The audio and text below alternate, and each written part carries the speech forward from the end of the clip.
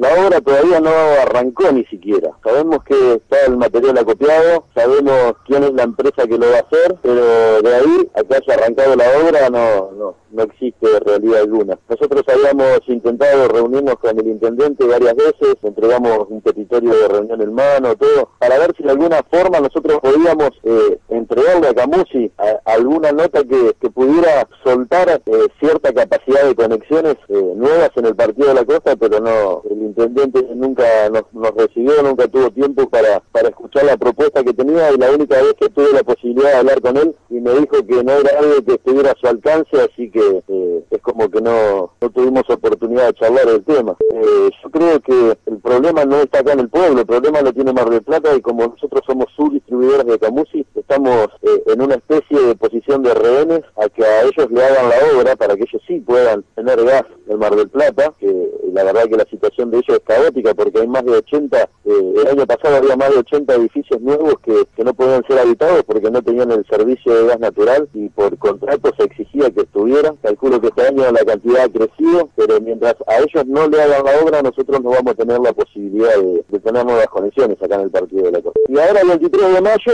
se cumplen dos años de la resolución y estamos trabajando en realidad un 30, 40% de la capacidad de mano de obra que tenemos. Hay muchos colegas que no la están pasando bien, aquellos que, que tenemos un poco más de años en la obra y, y, que somos un poco más conocidos por andar de obra en obra, tenemos la posibilidad que de una forma u otra vamos apaleando la situación laboral, pero hay muchos chicos que se recibieron en los últimos años creyendo que iba a ser una, una posible salida laboral, no han podido insertarse en el medio porque no, no hay capacidad laboral para, para toda esa gente, ¿no?